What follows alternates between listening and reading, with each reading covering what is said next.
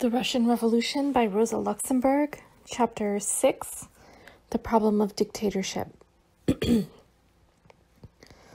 Lenin says the bourgeois state is an instrument of oppression of the working class, the socialist, socialist state of the bourgeoisie.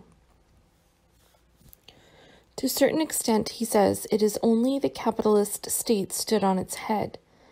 This simplified view misses the most essential thing. Bourgeois class rule has no need of the political training and education of the entire mass of the people, at least not beyond certain narrow limits. But for the proletarian dictatorship, that is the life element, the very air without which it is not able to exist. Thanks to the open and direct struggle for governmental power, writes Trotsky, the laboring masses accumulate in the shortest time a considerable amount of political experience and advance quickly from one stage to another of their development. Here, Trotsky refutes himself and his own friends. Just because this is so, they have blocked up the fountain of political experience and the source of this rising development by their suppression of public life or else we would have to assume that experience and development were necessary up to the seizure of power by the Bolsheviks, and then, having reached their highest peak, become superfluous thereafter. In reality, the opposite is true. It is the very giant tasks which the Bolsheviks have undertaken with courage and determination that demand the most intensive political training of the masses and the accumulation of experience. Freedom only for the supporters of the government, only for the members of one party, however numerous they may be, is no freedom at all.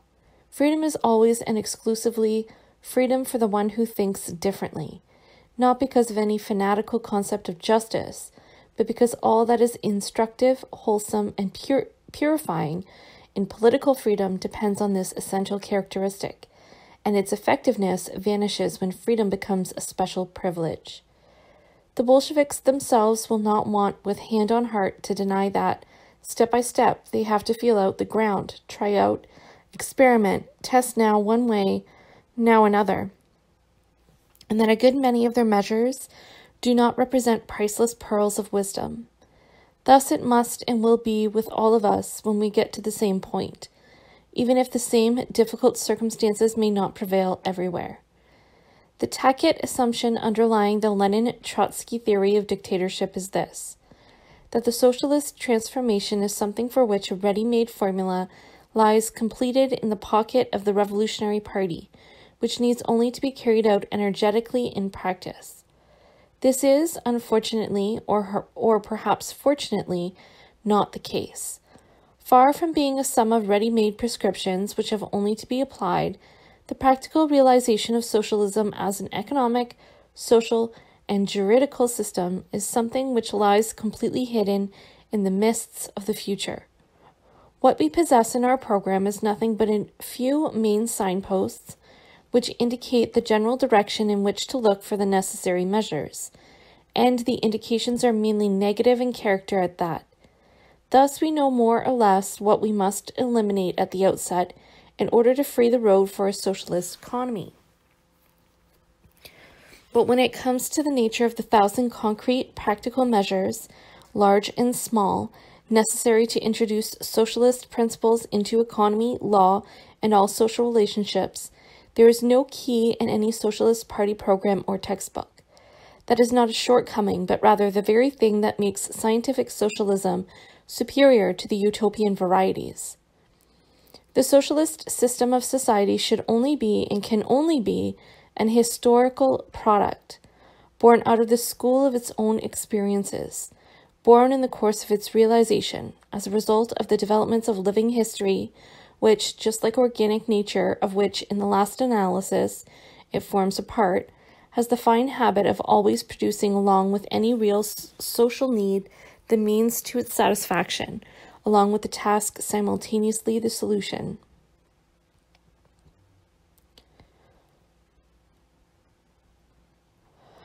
However, if such is the case, then it is clear that socialism by its very nature cannot be decreed or introduced by ukase.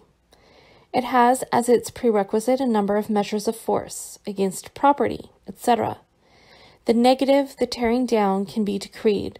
The building up, the positive, cannot. New territory, a thousand problems. Only experience is capable of correcting and opening new ways. Only unobstructed, effervescent, effervescing life falls into a thousand new forms and improvisations, brings to light creative new force, itself corrects all mistaken attempts.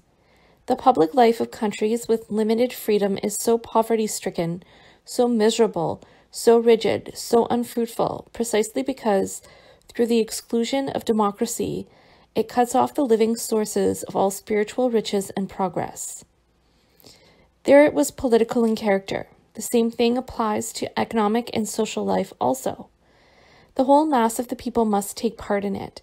Otherwise, socialism will be decreed from behind a few official desks by a dozen intellectuals. Public control is indispensably necessary.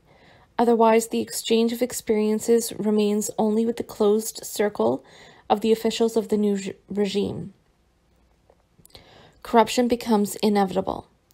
Socialism in life demands a complete spiritual transformation in the masses, degraded by centuries of bourgeois rule.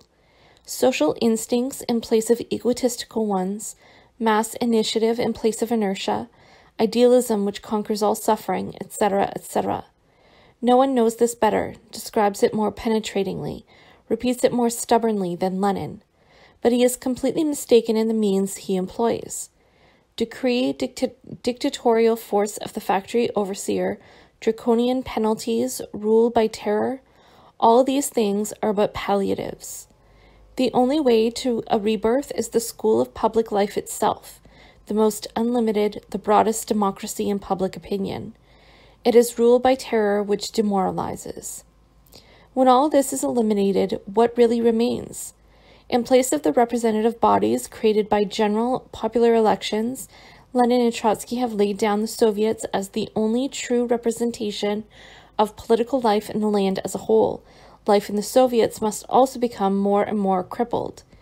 Without general elections, without unrestricted freedom of press and assembly, without a free struggle of opinion, life dies out in every public institution, becomes a mere semblance of life, in which only the bureaucracy remains as the active element. Public life gradually falls asleep. A few dozen party leaders of inexhaustible energy and boundless experience direct and rule.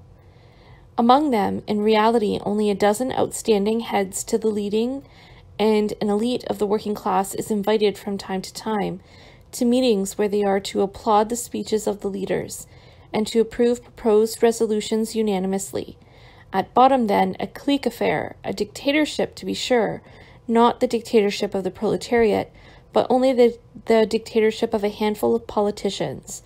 That is, a dictatorship in the bourgeois sense, in the sense of the rule of the Jacobins. The postponement of the Soviet Congress from three month periods to six month periods. Yes, we can go even further. Such conditions must inevitably cause a brutalization of public life, attempted assassinations, shootings of hostages, etc.